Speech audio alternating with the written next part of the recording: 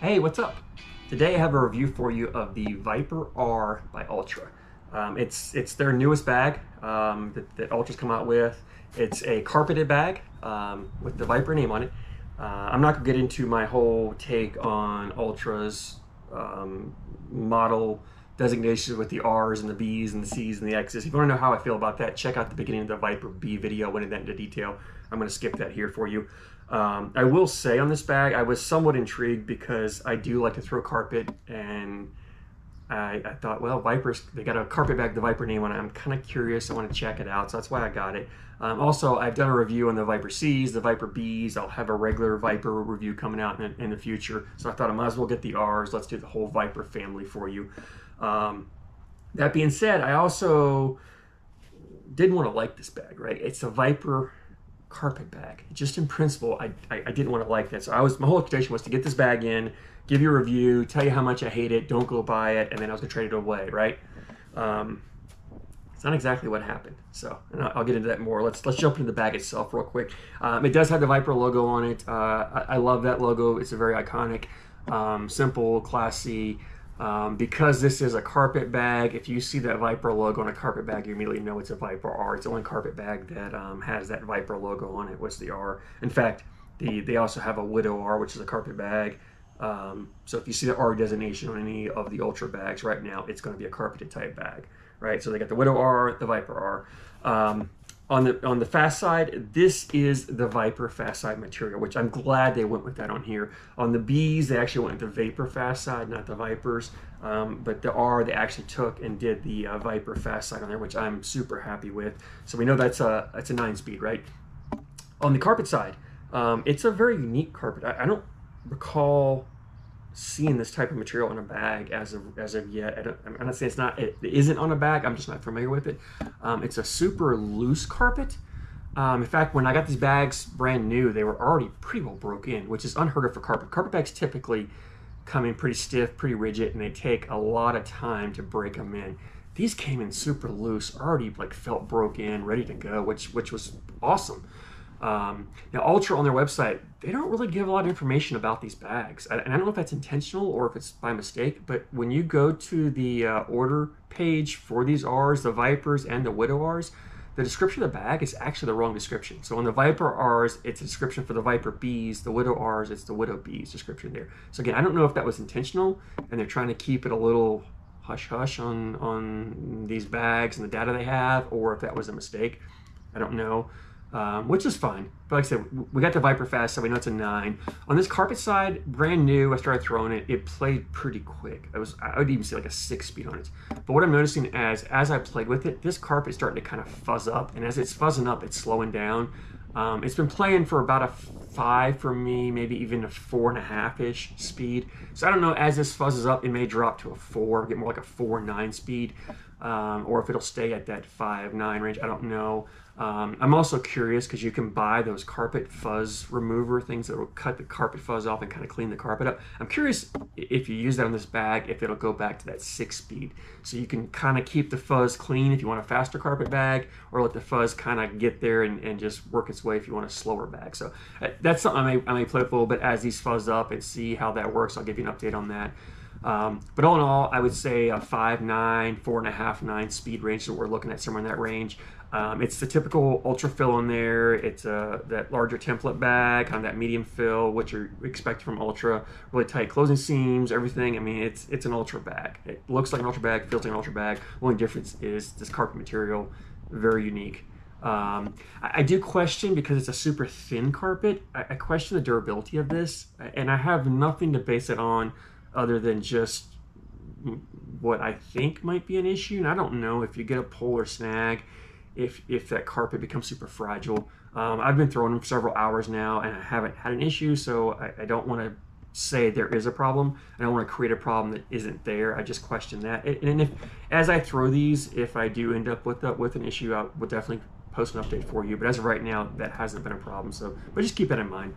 Um, as far as playability on these bags, uh, so like I said, they come in they come in pretty pretty loose, pretty floppy, pretty broken already. And as you throw them, they really start loosening up even more. It's a super floppy carpet bag, um, which you know if you're used traditional carpets, Um, it's you may not like this because it, it, it's it's it's not as stiff as you would get. Now because it's floppier, what I found is it lands a lot softer on the board. So if you don't throw a flat bag, it's not going to kick like a traditional carpet bag. In fact, I found this Viper R had a lot less kick to it than the Viper B. the slow side of the Viper B really tended to want to grab the board a lot more than this carpet did. Um, so this this this R lands a lot softer and flattens out, runs a lot truer, which is awesome. Like I said, if you don't throw a flat bag, very forgiving in the area. The problem is, is it also is not a great bag for cutting, for rolling, for flopping, um, because it's so floppy and it's so soft landing. I, I had a hard time really manipulating it to to to, to do what I wanted to, which is fine because I'm not really a great, I'm not a big roll bag thrower. At best, I'm average if that. I'm not saying you can't roll these bags. You you probably can, but most people aren't going to be rolling this bag. In fact, I, I could roll the Bs much easier than I could these Rs. Now, as this carpet side fuzzes up and becomes a little tackier, maybe that will become a little better. I don't know, but I think just because it's so floppy that it's, it's just it's so floppy, so forgiving, so soft landing. I don't think that that's really the type of play you're going to get out of this bag. Um, which is fine with me because I'm more of a blocker, airmail, push through type player, not much, not much of a flopper roll. I do play some cuts in there, um, which I, I, do miss. Not we don't do that as much this bag as I'd like to. Not a big issue as long as you know it's it's it's it's not a cut type bag. You can work with it. Um, this Viper Fast side plenty fast enough to push through any of the blocks you lay out there. Um, so I had no problem collecting and cleaning up when I was laying a block.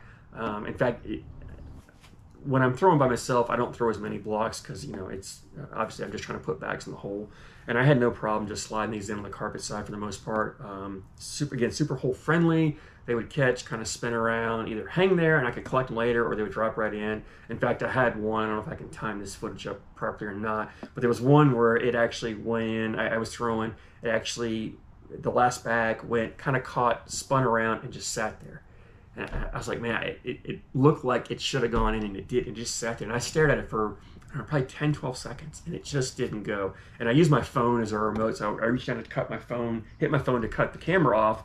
And then I did it and I looked up and the bag had fallen in at some point in there. So I mean, it was there for, like I said, 10, 12 seconds.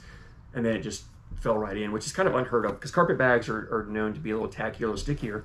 And so they tend to want to hang on the hole and not fall in. I didn't really have as much of a problem with this. Like in fact, the the Viper B's tended to want to um, hang on the holes and collect and bunch up more than I did with these Rs, which kind of um, shocked me. So, you know, I, I had every intention of not liking this bag, but the more I threw it, the more I really do like it. Um, and honestly, I, I, think I like it better than B's. Another advantage that this has over the Viper B's is it does well in humid conditions. As, as the boards get wet and tacky and sticky from humidity, this carpet actually speeds up and becomes a faster, um, the faster side of it too. Whereas this Viper B in humidity, this slow side starts just starts sticking and stopping, um, really slows way down, makes them almost unplayable.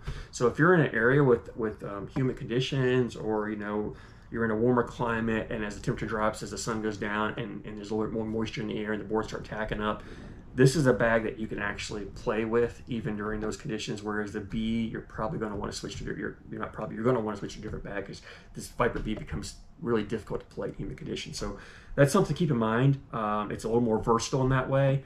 Um, and yeah, I, I just, I absolutely loved throwing this bag um, and I didn't want to.